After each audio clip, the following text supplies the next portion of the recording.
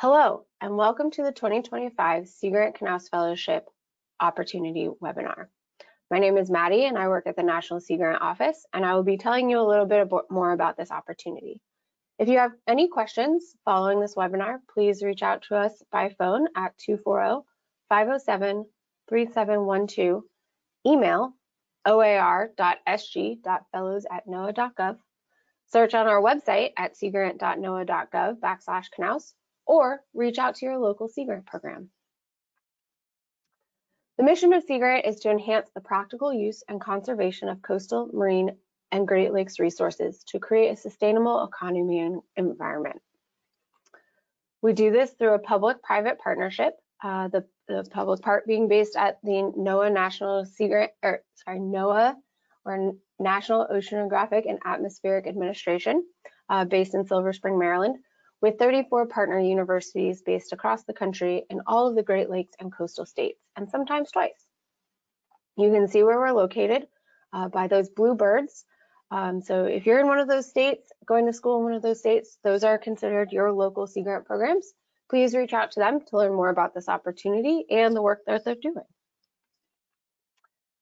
Specifically, the Knauss Fellowship has been supporting has supported over 1,500 students uh, in its entirety uh, the Sea Grant Fellowship provides a unique educational and professional experience to graduate students who have an interest in ocean, coastal, and Great Lakes resources and the national policy decisions affecting those resources. For the last 40 years, we've been launching illustrious careers. Sea Grant, the Sea Grant Knauss Fellowship offers direct experience working in the executive and legislative branches of the federal government on the latest issues in ocean and coastal management, fisheries, and research. To get a little bit more specific, the fellowship is a one-year hands-on learning experience through a fully immersive work experience within the Washington, D.C. region. Fellows should expect to be placed within the executive or the legislative branches of the federal government. On the executive side, you might be working with some of our potential host agencies such as NOAA, the Fish and Wildlife Service, Environmental Protection Agency, Navy, the U.S. Geological Survey, Department of Interior, U.S. Coast Guard, or National Science Foundation, to name a few. Many host offices have hosted fellows and both, and both mentors and colleagues are often alumni. You may work on very specific topics and become an expert or serve in high-level coordinating roles. On the legislative side, uh, you might be placed um, in committees or personal offices in both parties and chambers. Many of our host offices have hosted fellows in the past and have a deep investment in the Sea Grant program. As a legislative fellow, you will typically work on hot topics in the office, which may change throughout the year and may not always be related specifically to ocean and Great Lakes, but will be in the environmental space. The Knauss timeline does take a full year, so please take that into consideration as you are planning out your future. Students will apply to the state program in which they are currently enrolled in school in February by February 15th of 2024. In the months of February, March, and June, the applications will go under uh, extensive review uh, and an, uh, a, a, selection panel, um, and finalists will be notified in June. In July, we will work with finalists and alternates to learn more about the programs. In August, we will determine the status of our alternate applicants. And then in September, we will tell the world about the exciting news of your status as a finalist. In October, we will host our Executive Placement Week. In January, we will host our Legislative Placement Week. And then in February of 2025, you will begin your fellowship. So like I said, this process is a year-long process, so please take that into consideration as you are planning your future. A little bit more about what the actual award entails. The fellowship award itself is for placement in Washington, D.C. area in the legislative or executive branch for 12 months of work. For the 2025 cycle, the salary or stipend is $71,400. This may include fringe or personal expenses such as healthcare, taxes, and employee benefits, but may change depending on the state in which you are uh, selected through. The discretionary budget is $5,000, and this is for allowable expenses and may include but are not limited to relocation prior to and following the fellowship, academic tuition, journal publication fees, academic and fellowship related travel, conference fees, online trainings, and workshops. Then, on top of that, you may get a little bit of additional money for travel. If placement week is in person, we do provide a stipend for that of $2,500. Um, and then it, there is a potential to have uh, up to $15,000 added on for host office related travel. So this is things um, that are not necessarily within your specific professional development plan, but in specific support of your host office. Um, this does not apply to all fellows. This is just for some. It doesn't mean that if you don't get it, you won't be traveling. It just is how, how you're going to get reimbursed for that travel. So what does it mean to be eligible for this opportunity? An applicant's eligibility uh, is any student, regardless of citizenship, is eligible to submit to this opportunity if they fall into these three categories. The student is enrolled in a, towards a degree in a graduate program, master's, PhD, or JD. Two, the graduate degree will be awarded through an accredited institution of higher education in the United States or US territories.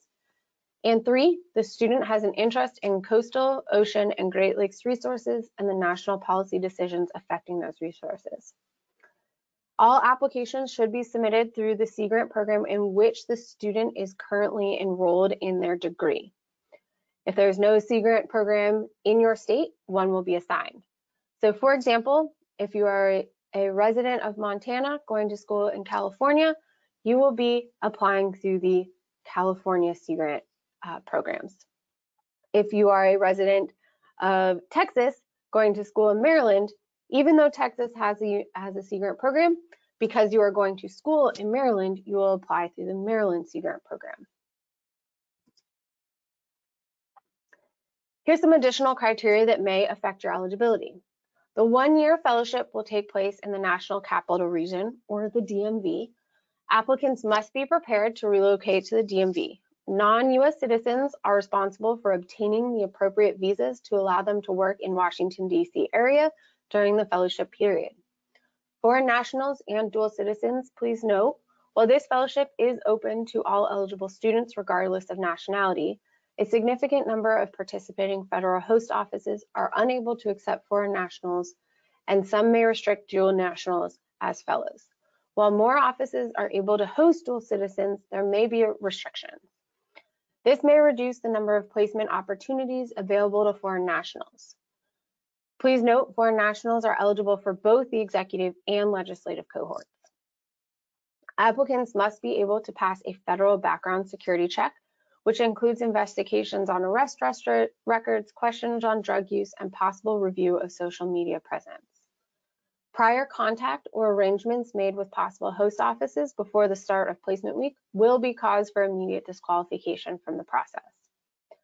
Applicants that have been accepted as national finalists and or become fellows are not eligible to apply again without the written permission of the National Sea Grant Fellowships Manager, which will only be granted in response to ex exceptional life events. A little bit more for our foreign nationals. Um, foreign nationals are eligible for both executive and legislative cohorts. Uh, the non-US non citizens are responsible for obtaining the appropriate visas to allow you to work in the DMV some typical visa types that we see our students on are the F1 visa or the optical, opti optional practical training extension or OPT. Uh, the fellowship is again um, open to folks of all nationalities. However, a significant number of participating participating federal host offices are unable to accept foreign nationals or dual citizens as fellows. So getting into a little bit more about what is involved in the application and the review criteria that your materials will be looked at. Hang with me, there's a lot of information on these slides and I will do my best to slow down uh, and cover all the information. So just a high level overview of what is to be submitted uh, in the project narrative. There's a portion that's to be submitted by the student and then there's a portion to be submitted by the program. So as a student, you're going to be asked to submit a curriculum vitae or a CV. Uh, you're going to be asked to respond to a couple questions. Um, you're going to be asked to provide a statement of your relevant coursework and future year plans.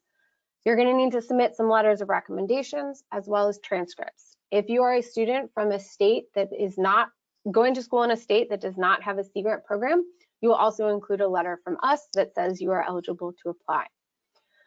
Uh, then also on top of that, your director, the Sea Grant director in the state through which you apply will submit a, uh, a letter based on the interview that they have with you. This is a summary of the NOFO. Please make sure you refer to the student guide and the NOFO or notice of federal funding opportunity for the full and complete legal text. So what goes into a CV? Um, again, this is to be submitted by the student. It's two pages in max, uh, so anything longer than two pages will be redacted. Um, so please only submit two pages. Um, you should not include personal contact information or web links to external resources. So no need to take up space with things like your LinkedIn or um, links to your articles or blogs. Um, all that stuff will not be included. Um, the CV uh, itself is with 10 is worth 10 points of the total application, um, and it will be scored as follows. The CV does not adequately address the expected outline, uh, will be zero points. The CV addresses the critical criterion or report in a confusing way, one point. The CV meets the criterion in an average or expected way, about five points, and the CV meets the criterion in an exceptional way, will be valued at 10 points. For the CV, you will be reviewed um, is, as such. The student has employment, volunteer, or extracurricular activities in academic, applied, research, administration, outreach, or policy positions. The education and experience, personal and professional, in the student's area of expertise are appropriate to their career stage. The applicant demonstrates academic, professional, or personal experiences that are relevant and applicable to, this, to serving the American people. Applicant's expertise shows prior leadership roles relevant to their career stage. Uh, just a pro tip, uh, we encourage you to consider utilizing formatting, like things like bold, italics, indentations to help provide a clear and concise CV, but don't go wild. That can get overwhelming as, as well. So up next is the personal, educational, and career development responses. This is the, the big chunky part of the application. Um, so hang with me, I promise I will do my best to walk you through this. Um, this section in total is worth 65 points of your total application. Um, so as this, um, we ask that your overall personal, educational, and career development response does not e exceed 1,530 words. Uh, each section and subsequent subsection should be answered separately using the section headers. Section headers will not count as part of the overall word count. A few high-level notes um, and tips about this section. Uh, the student should emphasize their abilities and expectations of the fellowship experience in terms of their career development. Each section and subsequent subsection should be answered separately using the section headers below. Section headers will not count uh, um, as part of your overall word count. Uh, the student should not include personal contact information or web links to external resources. If included, these will be redacted. Um, a couple pro tips. Read each section carefully and make sure to address the full question being asked. Think beyond just academics. Your life experiences, including educational, professional, and personal, make you the individual you are. Do not repeat your CV, rather expand on it. All right, so section one, uh, this is the smallest section of the personal, educational, and career development responses. Um, there's two questions as part of this section. Uh, the first is the student should use one sentence to describe themselves. And the second is that the student should list five adjectives that someone would with close with a close personal connection, such as a coworker, supervisor, um, would use to describe them. Uh, this section is worth five points, uh, and the review for this is that the student demonstrates creative thinking and a willingness to think outside of the box. So just for this section, please consider this as sort of letting us know a little bit about your personality. All right, hang with me. I know there's a lot of words on this slide. I did my best to present the information in a way that was digestible. Um, you can access these slides online uh, as a resource to review them on your own leisure, but I'm going to talk you through them as well. So the section two, as part of the personal, educational, and career development responses, this is more about your career path and objectives. In this section, we have three questions. Um, the recommended word count for each prompt in this section is about 250 words. Each prompt should be answered separately using the section headers. Section headers will not count as the overall word count. So I'm just going to go uh, through each section or each question, uh, each different um, prompt, then review criteria, um, and then I'll move on to the, the second question. In this section, each of the questions are worth 10 points, so 10 of the 65 points total. Um, and they, they're all sort of reviewed. Uh, the point scale is the same for all of them. So the first question or section two, question A or 2A, um, the, the prompt is that the student should discuss any experience, research or otherwise, that supports or relates to the mission of the National Sea Grant College Program or the State Sea Grant Program. Um, however, you do not have to have any uh, direct connection to Sea Grant to be eligible. Uh, the student should emphasize, if relevant, any experience with extending and distilling science for non-scientific This question will be reviewed based on the following. The student clearly links experience to the mission of Sea Grant, national or state. The student demonstrates their ability to convey scientific knowledge in broader, non-scientific context. The student demonstrates creative thinking, analytical skills, and or indicates their capacity and willingness to make connections between science and broader economic, social, and political issues. Question two, or 2B, or section two, question B. Uh, the student should discuss their interest in the fellowship with a specific focus on how the Knauss Fellowship supports the student's career path. The student should focus on how the Knauss program would further support their development as a professional. This question will be reviewed on the following. The student demonstrates an understanding of the Knauss Fellowship program. The career path and objectives demonstrates the student's diverse personal and professional background.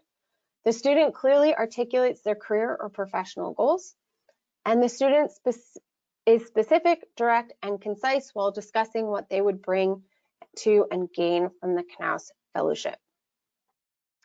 And then the final question in section two, or 2C, uh, the student should discuss the transferable skills or skills that can be applied across a variety of disciplines that they would bring to the Knauss Fellowship. In this response, the student should highlight experiences from their personal, professional, and academic backgrounds. This question will be reviewed on the following. The skill set demonstrated will provide a foundation for success in the Knauss Fellowship. The student is specific, direct, and concise while discussing the skills they have cultivated through their career. So that is section two, or career paths and objectives.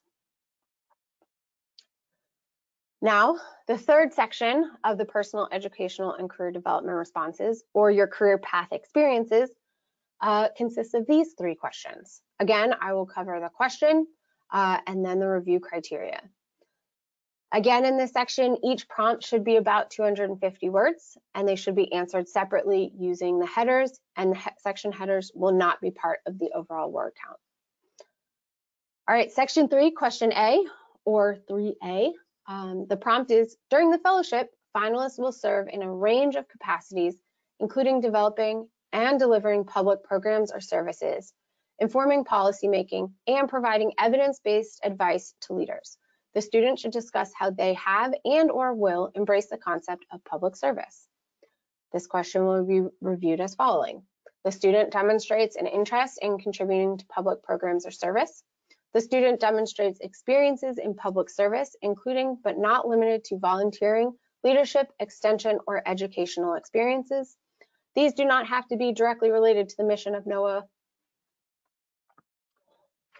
Question B or 3B, uh, the prompt is that the student should discuss a situation in which they have worked with a person or group with different perspectives, life experiences, beliefs, etc., from their own to achieve a common goal. The student is encouraged to use examples. This will be reviewed as following. The student demonstrates creativity and a willingness to navigate a challenging situation.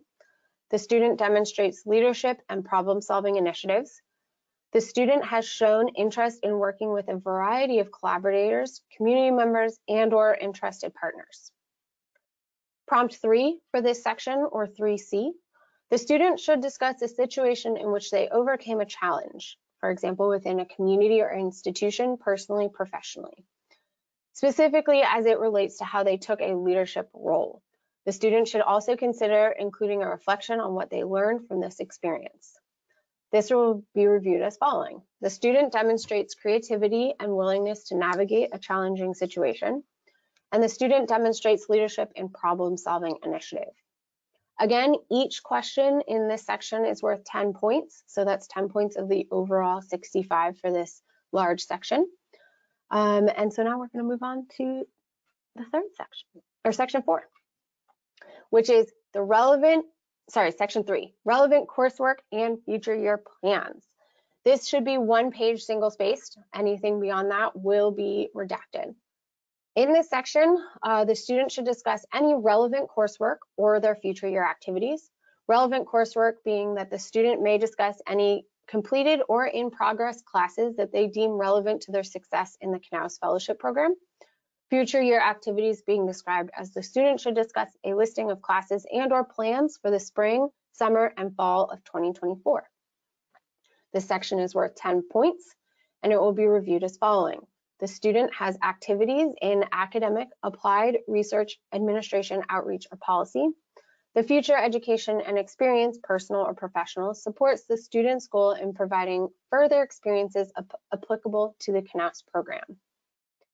A pro tip about this section is please provide an explanation for why a class you have taken or activity in your future applies to or supports the program. The fourth section are the letters of recommendation. We're asking for two letters of recommendation. They're worth five points each. Each letter may not be more than two pages single spaced. So this, the description of these letters, the two letters of recommendation from individuals who have worked with the student, including at least from one from a faculty member associated with the stu student's current enrollment, who has knowledge of the student's academic and research, when applicable, performance. Each letter should not exceed two pages single-spaced and should clearly indicate the letter's writer's name and position. These letters should A, discuss the following attributes of the student, self-motivation, response to setbacks, skills and involvement in teamwork, collaborative leadership skills, willingness to learn a new skill or topic, academic performance, and potential. And speak to anything else the review panel should know about the strengths uh, that the student will bring to the fellowship. We will review these letters on the following. The letter writers demonstrate a knowledge of the student and their abilities. The letter writer speaks to the leadership potential, confidence, maturity, and self-direction of the student.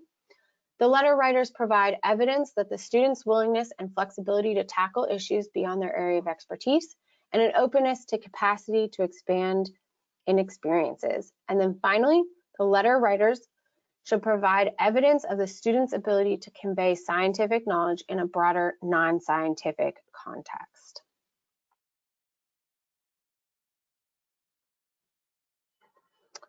A pro tip about your letters, uh, please, we encourage you to schedule an appointment or meeting with your letter writers well in advance. Give them time to write these letters. Discuss the program to which you are applying, the selection criteria, and highlight your most relevant professional experiences. Make this process easier for the letter writers. Also, give them space to say no if they feel that they do not have the time or confidence to write this letter. There's two other things that are part of your application package that are not part of the, the score, scoring criteria, but are necessary um, for, success, for the application. Please submit um, clear or scanned copies of all undergraduate and graduate trans student transcripts. We're totally okay if you submit unofficial transcripts, um, but please make sure it's for both undergrad and graduate school. And then the sixth one um, which will only apply to those who are applying from states without a Sea Grant program, is an out-of-state letter provided by the National Sea Grant uh, Office. So this final bit uh, that comes into it is the Sea Grant Director Letter. This is to be submitted by the program. Uh, as a student, it is not your responsibility to write this, don't worry. Your responsibility will be to have an interview with your director. Um, these letters will be two pages, single space max. Um, and what is comes into this section? Um, a signed letter of recommendation from a state Sea Grant director, which is built from an interview with the applicant. The letter should not exceed two pages, single spaced. As part of the interview and subsequent letters, the director shall A, demonstrate why the student aligns with the goals of the Knauss program. B, highlight the skills the student emphasizes in the interview. And C, explains any gaps in the CV or personal educational career development responses or anything that student feels they were unable to include in the application that they feel is important for the review panel to know. This letter is worth five points and will be reviewed as followed. The director letter demonstrates how the student fits with the Knauss program, including any discussion of why the student belongs in the Knauss program, highlights the skills, academic, professional, or personal that the student would bring for the Knauss program, elaborates on information not specifically addressed by the student in their application package. Um, when you're going into this uh, with your director, just be yourself um, in your interview. Don't try uh, and do anything that is out of the norm. Um, tell your story. Be true to who you are. So again, this is a high level overview of what the review criteria looks like um, so that you have a better understanding. Um, the CV, 10 points. Uh, the personal educational career development responses, that's that big chunky meaty section.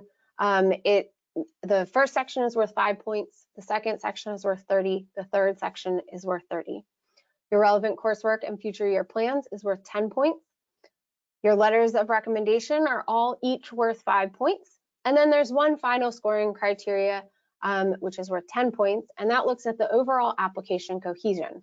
All aspects of the application materials, so your CV, personal, educational, and career development responses, relevant coursework, and future year plans, letters of recommendation, and director's letters will be part of this um, scoring criteria. All right, finally, the review process. Um, at the national level, again, this is what it looks like. It does take a full year um, with lots of folks contributing to this process, including your state programs and volunteers from the Knauss network in looking at your applications. Um, you will, your applications are due February 15th. Your programs will submit them in March, and then we will review them in April, and finalists will be notified in June. A few quick tips as you go through the application process.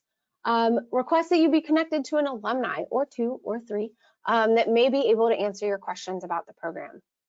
Reread the application materials and your own application materials. Letters of rec. Prep your letter writers about the opportunity. Give them time to provide meaning, meaningful comment about you. Start early. Collect all these pieces can take time. You want to give yourself space uh, to write strong answers. Stay true to yourself. This is your application. Let your character and goals be the focus. And the final one is proofread. Please proofread. It is very important. People notice the small things. Finally, again, if you have any questions, my name is Maddie. I work at the National Sea Grant Office. Here's my contact information. Feel free to reach out anytime and we'll be, do our best to answer those questions or reach out to your local state Sea Grant program. Thanks for listening.